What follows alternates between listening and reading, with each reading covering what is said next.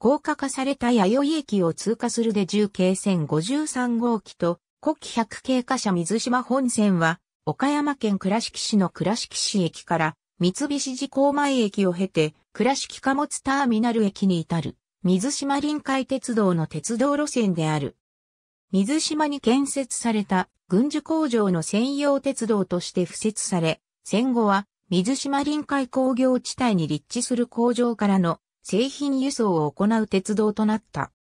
1948年に地方鉄道法に基づく鉄道として旅客営業が開始され、1952年に倉敷市営となったが、1970年からは水島臨海鉄道が運営している。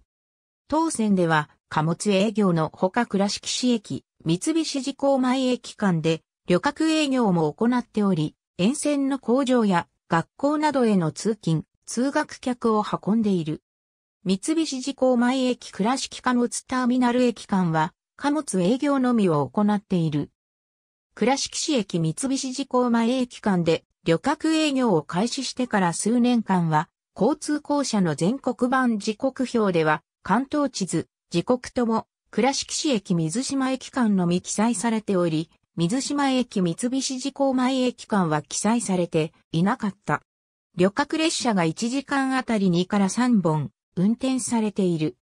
朝と夕方は倉敷市駅三菱自行前駅間の列車が多いが、日中は倉敷市駅水島駅間の列車が多く、倉敷市駅三菱自行前駅間の列車は2時間に1本程度となる。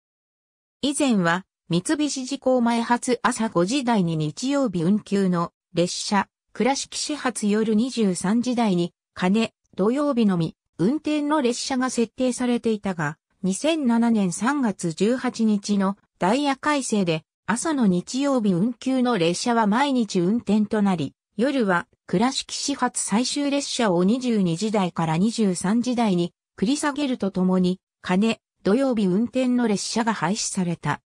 2013年3月16日の改正では、三菱自行前発を5時台に繰り下げ、倉敷始発を23時ちょうどに繰り上げた。